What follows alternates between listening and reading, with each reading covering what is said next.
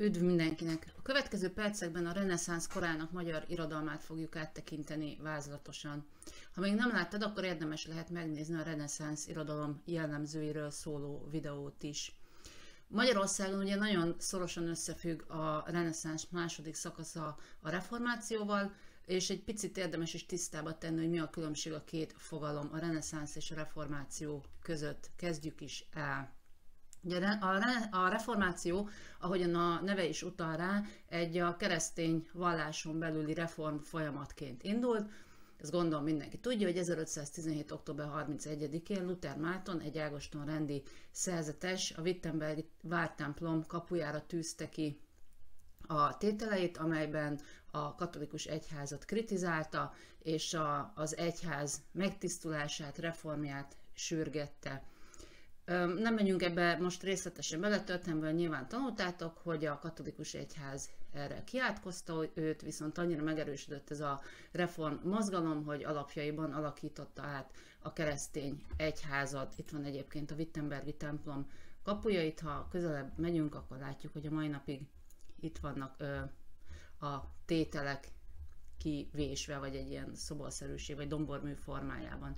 Na de hasonlítsuk össze gyorsan, hogy mi a különbség és mi a hasonlóság a reneszánsz és a reformáció között. Ugye az egyik leglényegesebb különbség, hogy a reformáció az alapvetően egy stílustörténeti korszak, tehát a, a művészetben jelentkezik, míg a reformáció az eredetét tekintve egy vallás történeti mozgalom a valláshoz kapcsolódik. Tehát ez egy nagyon lényeges különbség, hogy más terepen van jelen a kettő, de mind a kettő nagyon erősen rányomta a bélyegét az Európa kultúrára, és majd látni fogjuk, hogy vannak közös vonások is közöttük. De nézzük először, mi a hasonlóság a kettő között. Ugye egyfelől mind a kettő, a reneszánsz és a reformáció is ugyanannak a társadalmi és gazdasági folyamatnak a, a következményeként jött létre, ez pedig nem más, mint a polgárságnak a megerősödése. Mindkettőhöz szükség volt arra, hogy az emberek ö, nagy száma, vagy szóval, hogy sok ember csalódjon a, a vallásban, sok ember csalódjon a katolicizmusban, és kellett hozzá a katolikus egyháznak az a, az a válsága, az az anyagiassá, ö, tulajdonképpen egy politikai erővé válása, ami, ami hozzájárult ahhoz, hogy egyre több kritika érte a, az egyházat. És az, és az emberek ugyan megtartották a szokásokat, de egyre kevésbé találtak megnyugvást az egyházban, aminek már közel nem volt a krisztusi tanításokhoz. Tehát magyarul a, a keresztény egyház válsága is kellett mindkettőhöz. És a, az anyanyelviség is közös vonás mind a kettőben, és tulajdonképpen az, hogy a reformáció az nagymértékben megerősítette az anyanyelvi kultúrát, az hozzá is járult a reneszánsz kibontakozásához, a reneszánsz irodalom terjedéséhez is. Tehát az, hogy a kultúra nyelve többé már nem a latin, meg a görög, ez nagy mértékben hozzájárult ahhoz, hogy, hogy terjedjen az igényes kultúra, hiszen az emberek túlnyomó többség azért nem beszélt latinul vagy görögül. De nagyon fontos különbségek is vannak a két fogalom között, tehát a, a reneszánsz és a reformáció között. Ugye egyrészt máshol terjed, vagy hogy mondjam, van egy ilyen földrajzi korlát is, valahol az Alpok vonalánál van egy ilyen képzeletbeli határvonal. A reformáció az elsősorban az, az Alpoktól északra fekvő országokban terjedt, és ezeknek az országoknak a polgársága még kevésbé volt fejlett, mint, a, mint az itáliai polgárság, tehát van egy ilyen társadalmi különbség is a kettő között, ami viszont nagyon-nagyon lényeges különbség, hogy a reneszánsz az alapvetően egy világi fogalom, egy világi gondolkodásmód, tehát a reneszánszban a vallásnak a szerepe az nem vészel, ez fontos, de kevésbé hangsúlyos. Míg a reformáció, ahogyan azt már mondtam is, alapvetően egy vallási mozgalom, tehát annak a célja pont, hogy a vallás szerepének a megerősítése. Ez egy nagyon lényeges különbség. És a másik nagyon markáns különbség a két mozgalom között, a reneszánsz és a reformáció között, vagy a két szellemi irányzat között, hogy míg a, a reneszánsz az, az nagyon pártolja a művészetet, tulajdonképpen az ókori művészet föltámasztását tűzi ki célul, addig a reformáció és az ezen belül különböző református irány, vagy reform, protestáns irányzatok, bocsánat, ők, ezek nagyon puritán irányzatok, tehát nagyon, nagyon visszafogottan gondolkodnak a művészetről, a templomokban kifejezetten elvetnek mindenféle díszítést. Ugye mai napig, ha bementek egy református vagy evangélikus, tehát bemilyen protestáns templomba, ott alapvetően fehér falakat találtok, minimális díszítést, mikor egy katolikus templomba mentek, akkor az általában gazdagon díszített. Még a modern katolikus templomokban is ö, vannak díszítő elemek legtöbbször.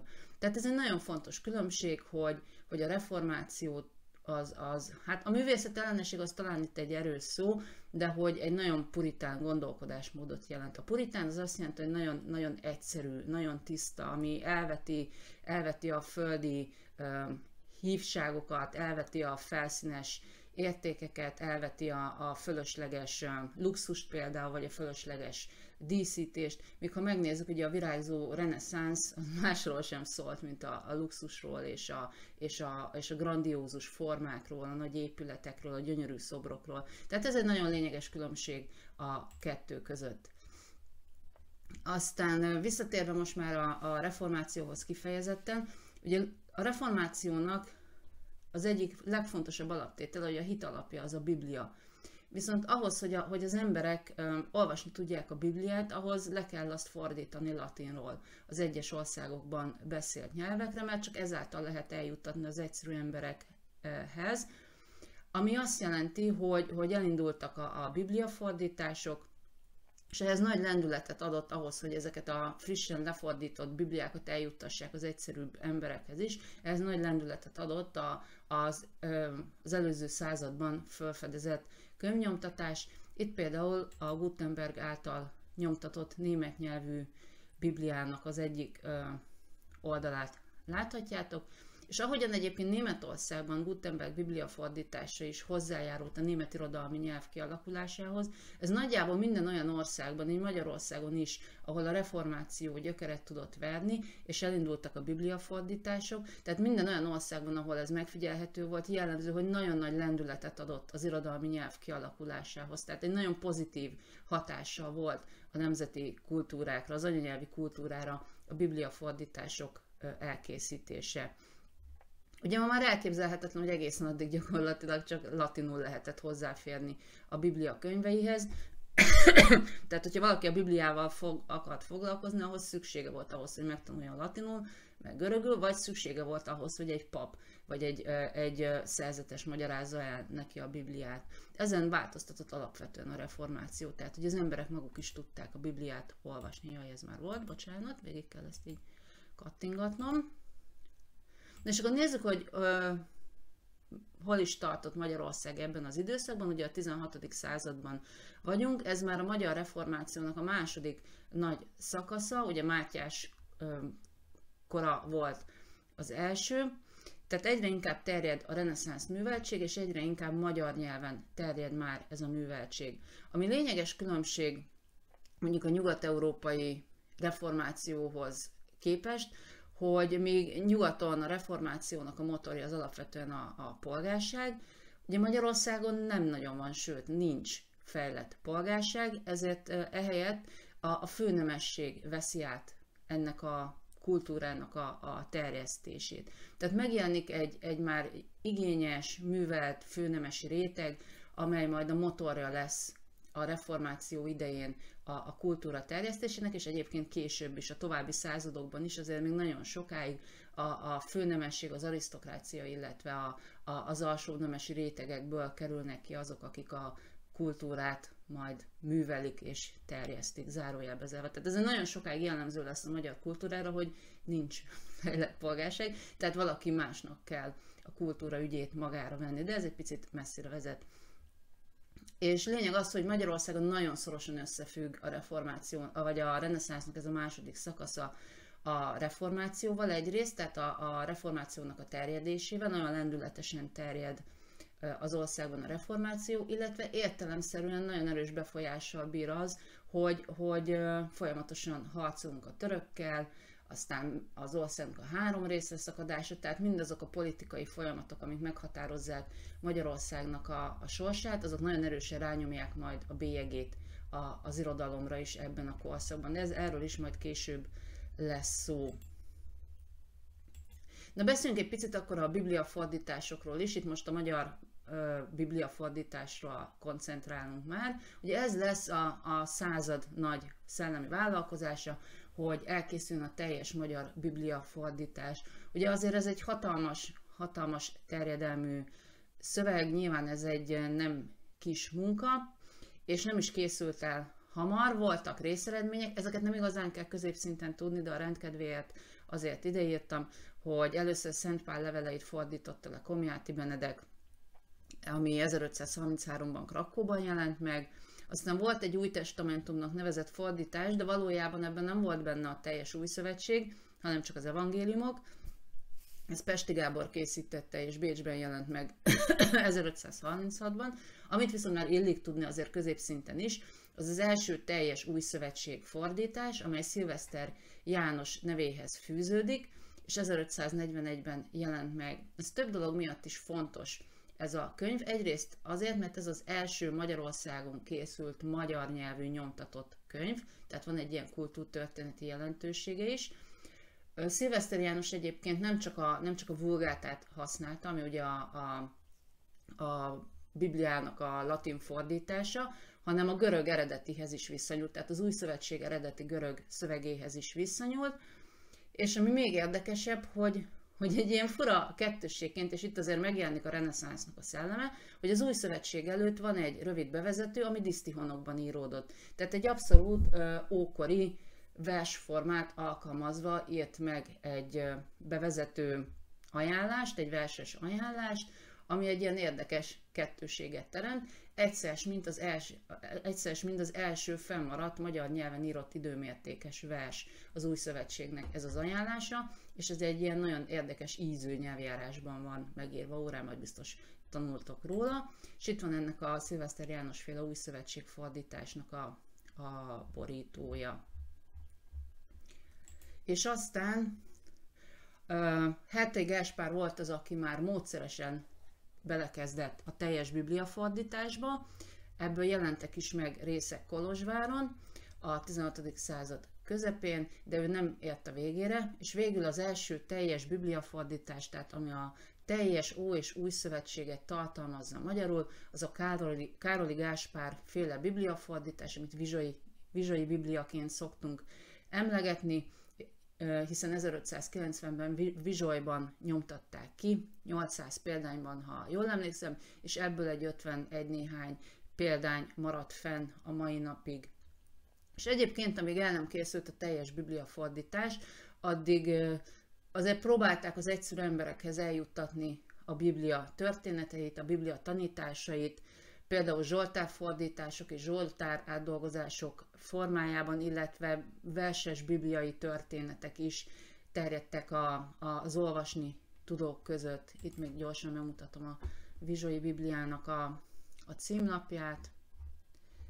Tehát 1590-re magyarul is volt már teljes bibliafordítás. Na de nem csak egyházi témájú szövegek voltak jelen ebben a, az időszakban, bár főleg egyébként igen, tehát nagyon rányomta a bélyegét a reformáció és a, illetve ezek a hitviták az irodalmi életre, de azért beszéljünk néhány olyan műfajról, amik között már olyan is van, ami nem kapcsolódik a, az egyházhoz. Így például az első magyar nyelvű tragédia, az Bornemisza Péternek a Magyar Elektra című uh, Sophocles fordítása és átdolgozása. Aztán egy nagyon érdekes, kifejezetten a, a reformáció idején jellemző dráma típus, a hitvitázó dráma, ami tulajdonképpen um, dráma formában feldolgozott hitvita, tehát ahol a, ahol a, a katolikus és a protestáns nézetek ütköznek dráma formájában. Aztán szintén népszerűek lesznek a fabulák, vagyis az állatmesék. Itt kettő nevet érdemes megemlíteni, az egyik a már korábban említett Pesti Gábor, ugye a Biblia fordító, a másik pedig Heltai Gáspár, aki szintén fordította a Bibliát is. Neki a száz fabulája lesz majd egy nagyon híres gyűjtemény, és itt ezeket az ókori ezopusztól eredő állatmeséket, majd ennek az új protestáns erkölcsnek a, az eszmeiségével fogja um, átitatni tulajdonképpen Heltai Gáspár. Tehát így kell új életre ez az ókori műfaj. Aztán érdemes még megemlíteni a dialógus, mint műfajt, ugye ez egy kifejezetten filozófikus műfaj, a leghíresebb dialógusokat Platón írt az ókorban, és Hertai Gáspár is írt ilyen dialógust, a részegségnek és topzódásnak veszedelmes voltáról való dialógus címmel, ugye ez nem meglepő módon egy ilyen erkölcsi eszmefuttatása a korhelység káros voltáról.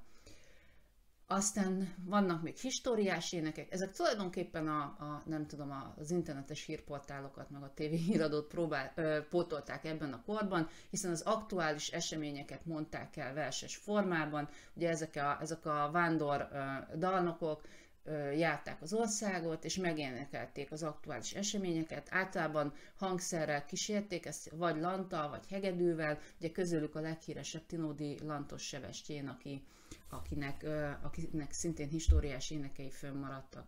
És még egy műfajról beszéljünk, ez a szép história, ezek pedig tulajdonképpen szerelmes történetek versbe szedve, tehát a mai ilyen szerelmes ponyva irodalomnak voltak a korabeli megfelelői. Ezekből már tulajdonképpen hiányzik a tanító célzat, ezek már elsősorban a szórakoztatást szolgálták, és a legfontosabb közülük Gyergyai Albántnak az Árgérus históriája című szép históriája, ami majd pár száz év múlva Csong, um, Vörösmat Mihály Csongor és Tünde című művéhez lesz nagyon fontos forrás. Na hát ennyi lett volna röviden megint csak el, hadarva a reformáció korának magyar irodalma. Iratkozzatok föl, támogassátok a csatornát, és hamarosan találkozunk. Sziasztok!